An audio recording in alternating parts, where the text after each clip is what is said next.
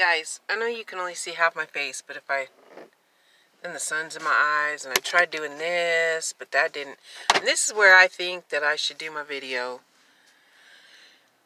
Mainly because, I guess what I'm talking about, I don't know, um, I want it to be kind of quiet, not that the cars won't be loud, but, um, I had one subject I was going to talk about, so that'll be next Mental Health Monday. Um, this Mental Health Monday, I want to talk about suicide. It's not funny and it's not a joke. And when I tell you guys I tried to commit suicide, it's not because I want pity. It's not because I want you to be like, oh no, I need to. No, that was lots of years ago and I've learned how to deal with my feelings better. Okay? But I do want you to know it's real. No one should ever pretend or joke about it. If someone reaches out to you, feel safe enough to reach out, you should always take them seriously, even if you have a little bit of doubt in your heart. So don't hesitate to call authorities. I have been in three mental institutions. Um, twice because of suicidal thoughts, and the third time because I tried. And when I tried, I didn't tell anybody. I didn't make a big deal out of it, and I waited till nobody was home. God wanted me still here because the what I chose the way I tried to kill myself, I tried to cut my wrists. I'm, I have no idea why the knives weren't sharp enough because the sadistic piece of crap that I was with at the time always had sharp knives. Always. That was kind of his thing was knives. Got threatened with one a couple times. So, I can only attribute that to God because I really did want my life to end. I had gone through a lot of. Some people that are close to me know what I went through. Um, I felt like a complete failure, and I felt like people would be better off without me. That's why I did it. It didn't make it okay, but I felt like there was just nothing ever going to get better. And not long before I did, tried, my cousin committed suicide. He didn't tell anybody. He didn't even write a suicide note. He went to a dirt road and he shot himself. Why am I telling you this? I'm telling you this because I feel like some people think it's okay to play with people's feelings or to try to say they want to commit suicide for attention.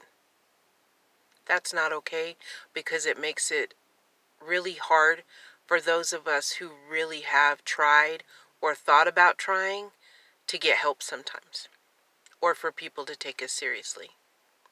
It's not funny. It's it's a very serious thing. I have some people very close to me that two of them I didn't know till years later tried to commit suicide. But for whatever reason, like I said, to me it was God's intervention. They woke up that next morning. And then someone who did it, I knew about it. They did it in front of me.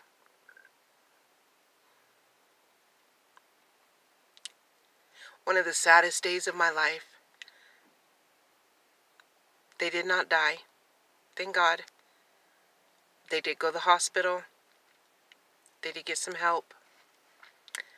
But it's not anything to play with or joke about or. And if you are one of those people that are thinking about it or threatening it, don't get mad because someone calls the cops because it's because they love you. And don't think it's a joke that they called the cops. They did it because they loved you and they were concerned. So don't play with people's emotions. Um, I suicide is something very close to my heart. So I take it very seriously. I don't want no one to feel sorry for me.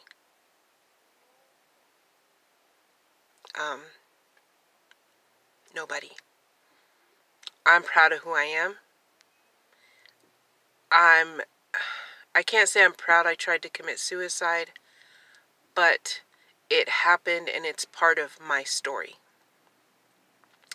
And I'm living proof that things, when you feel like the, your whole, and I'm talking, I thought my whole world was over. And I would share details of why I felt that way, but um, the things that happened are not just my story to share.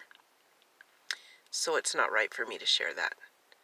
But just know as a parent, um, I felt like I was a complete waste and a failure and um, yeah, so I am going to put a link or a post or something with the suicide hotline and just know that if you ever want confidential like somebody to listen to you that you and you want to stay confidential I've never called that number. I don't know what it entails.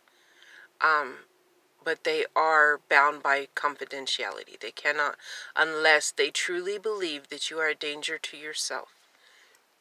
That goes for therapists. The only time therapists can tell what's said in there is if you are threatening someone else's life or they truly believe that you are going to hurt yourself. Hence why I go see my therapist every Friday. I've told y'all I'm not ashamed to go to therapy because I'm still here, and maybe partly because I decided to start going. There you go. Um, it's okay to want sympathy from people when you're feeling bad. But don't play with people's sympathy. Don't live off of it. Don't scare people that care because then the next time somebody really does need help, they might not want to help them because you made them feel like a fool. For you people that care enough to call the police or a doctor or go get them help, bravo. That's the right thing and don't stop doing that. Uh, some of y'all might not like what I had to say tonight, I don't because you know what? I can stay at 330 subscribers or I can even lose some and that's okay because I'm not going to hide where how I feel about something that touches very strongly. There are certain things that are very, very dear to my heart. Suicide and mental health. Domestic violence. I've been a victim of domestic violence. I have had, or a survivor of domestic violence, I should say, not a victim. I have friends that are survivors of domestic violence, and I know a few ladies who are victims. They lost their lives because of it. I thought it was going to be quiet. So that is very near and dear to my heart. And then health issues, um, as y'all know, COPD, congestive heart failure, and diabetes are three things that have affected my family, and it's, so it's something that I research, I look into, and when I find out someone suffers from it, I don't, I feel a connection to them. My daddy was a diabetic. He had congestive heart failure. In the end, he died from complications from diabetes because his blood sugar was way out of control. My mom and my aunt died from COPD. So that has nothing to do with suicide. But those I want I just wanted to point out that there are a few things that are very I don't play and I don't joke about that. And I don't think anybody should ever um, domestic violence too. Don't don't cry wolf. Because those that really need help don't need other people crying wolf. Because then so maybe they can't get the help they need. And that's the way it is with suicide. Y'all can comment if you want, if you think I'm being rude. It's okay. You can tell me you think I'm being rude. It's not going to change my opinion. And y'all know that my videos are not just about yarn. Now, that being said, Mental Health Monday, I got a beautiful surprise today that I will open up in this video, just be a few seconds later. But when I get home and I'm making nachos tonight, y'all, I got some yarn from a yarn angel. That's what I will call her. She does not want her name known. She did it to be sweet. She said it is for my personal use and for my charity. So it will go to good use. I promise you, my yarn angel. You touched my heart. More than you know.